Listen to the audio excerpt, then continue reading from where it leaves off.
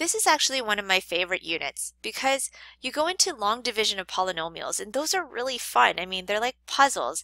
Once you figure out the puzzle and you get the right answer, you just, you feel so smart. So in this tutorial, we're going to talk about long division of polynomials and you know what, remainder theorem is based off of that. So I'm going to leave that for another video just so that we focus on one thing. To do long division of polynomials, you really need to know how to do long division. A lot of people don't remember how to do long division. That's why we have our warm-up. Okay, so here's our number. We're going to put it under there. The dividing number goes on the outside. 7 can't go into 2 because it's too big a number. That's why 7 goes in 0 times. But it can go into 22. Okay, so 7 goes into 22. That's why we have this line here to kind of cut off that 22. 3 times.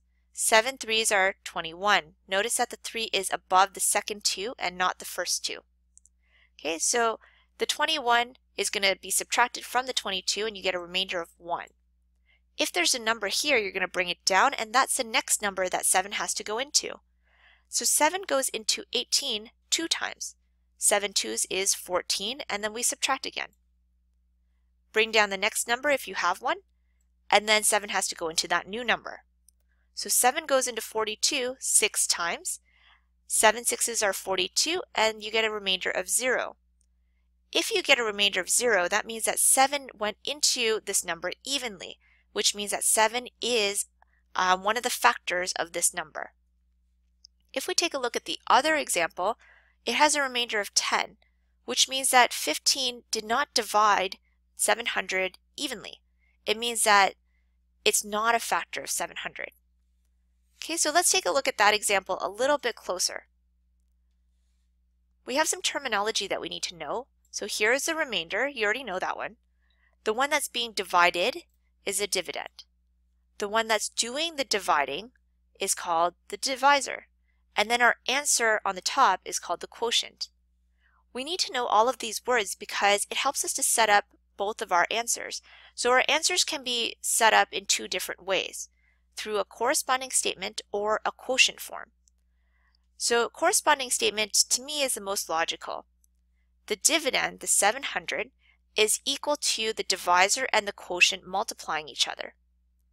Then that might get you really close to 700, but then you might need to add the remainder to get to the rest of the way to get to 700. Okay, so then you're going to add your remainder at the very end. This is how the corresponding statement is written. If you want to write your answer in quotient form, well that is the dividend over the divisor, which is equal to the quotient plus the remainder over the divisor. Now that's written like this. 700 over 15, because you were taking the 700 divided by the 15 before, it's equal to your quotient, but then you have to add your remainder and there's your divisor underneath it.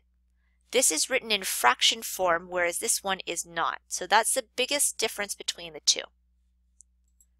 If we apply this to polynomial division, it's exactly the same. All of the steps are the same. It's just a little bit more complicated. So then this is your polynomial. You're going to divide it by another polynomial, which is your divisor. It's going to equal your quotient plus your remainder over the divisor. This is quotient form. This guy is your corresponding statement. Notice that it's written exactly as it was in the previous slide. Your dividend equals to your divisor times your quotient plus your remainder. That's a little bit difficult. I mean, unless of course we see an example, it's going to be kind of hard to understand. Here's an example then. Let's divide this polynomial, which is your dividend, by your divisor. Okay, now notice this is an x cubed. You're missing your x squared. You have an x, and then you have something with no x's. Technically, these guys should be going in descending order always. And if you're missing a term like your x squared, you have to put a placeholder. This guy goes underneath the dividing sign. So notice that I put a placeholder, a 0x squared, in place of the x squared term that should be there. That's very important. So again, all of your exponents should be going downwards for the x's and you have to have each one, x cubed, an x squared, an x, and a no x. That's extremely important in terms of long division. Okay, then you're going to put your divisor on the outside. and you're going to start to divide. Since this is a binomial, it, it can't go into a monomial. It has to go into the entire binomial. That's why your answer is going to go over the second term. Okay, so how do we do this? Ignore the second terms in each of them. Forget the 1, forget the 0, just look at the first terms. How does 2x become a 4x cubed? Well, you have to multiply it by 2x squared. 2 times 2 is going to give you 4. x times x squared gives you x cubed. We want these guys to be the same because when we subtract, they should disappear. Okay, so what we're going to do is take the red term and multiply it by your divisor. That's going to make your 2 into a 4, and then your x into an x cubed. 2x squared times 1 is just 2x squared. So this is formed by taking your red times your entire divisor.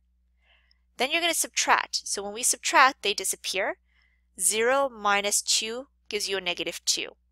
These have an x squared beside them, and then we're going to bring the next term down. So this is the next thing that the divisor has to divide. Let's try that again. How does 2x become a negative 2x squared? Forget the 1, forget the 9. Well, you're going to have to multiply it by negative x because negative x times 2x gives you a negative 2x squared. These guys, when we subtract, will become a 0, which is what we want. Okay, so then we're going to take this guy, multiply the entire divisor to get our answer underneath the yellow highlighted part. Subtract now. These guys subtract, you're going to get a 0. 9 subtract negative x gives you a 10x. Bring down the next one. This is the next thing that you're going to have to divide with the divisor. Okay, now again, we want to make this so 2x multiply 5 will give you this guy. That means they match. When you subtract, it's going to give you a 0. Take the blue and multiply the entire divisor, and then you get this guy underneath. So 10x minus 10x is going to give you 0. Negative 12 minus a positive 5 gives you negative 17. This is our remainder and we're finished because there's nothing else we can bring down.